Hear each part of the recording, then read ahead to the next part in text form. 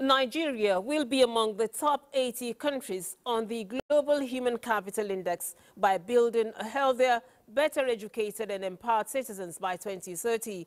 Vice President Kashim Shettima stated this while inaugurating the HCD 2.0 strategy during a meeting of the steering committee of the Human Capital Development Program at the presidential villa. Again, State House correspondent Abdurrahman Jibrila reports.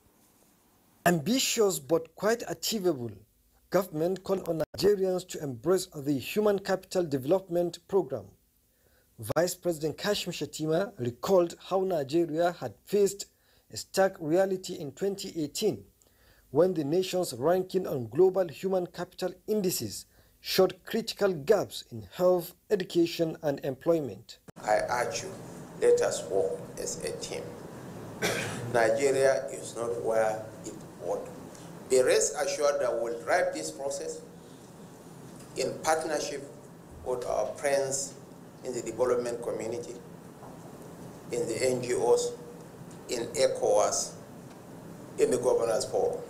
This meeting is showing the urgency to address situations that compelled Nigeria to prioritize human capital development, leading to the launch of the HCD 1.0 to build a healthy, educated, and productive Nigeria by 2030.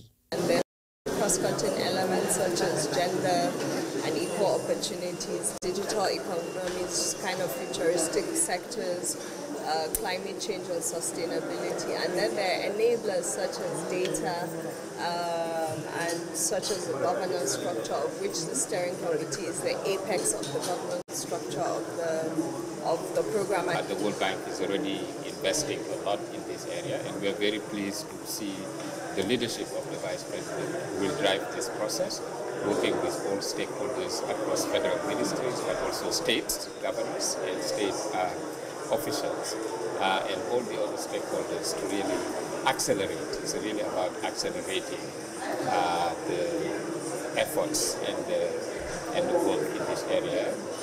This engagement also highlighted the importance of robust monitoring, evaluation, accountability, and learning processes to ensure transparency and effectiveness in tracking progress. From the State House, Brahman Jibrila, NTA News.